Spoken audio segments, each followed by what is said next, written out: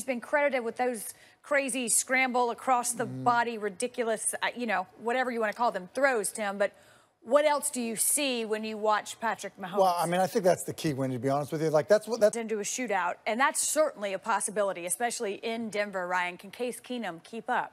Well, I think what happens in every other game or the first three games of the season has to be a turnover, a sack, fumble, an interception, which this defense is very capable. You don't want to put it on Case Keenum to be in a shootout with Patrick Mahomes. I wouldn't think so. Not the way he's playing, at least what we've seen so far. Case Keenum, by the way, a QBR of 19 in the first three quarters this season. That goes up to 84 in the fourth quarter, the fourth best among qualified quarterbacks. My favorite. And too, so we and so we thought this week, why not be in with the new?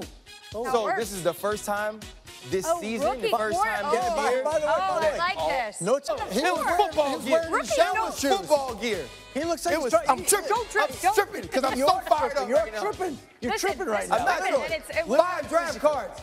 Five. we digress. Way to be about your team, Baker Mayfield. He Mayfield. looks like he's That's trying to go play bingo in Florida or something. Baker Mayfield. Way to be about your team. We These are continue haters. now with You wear your press sweatsuit. coverage.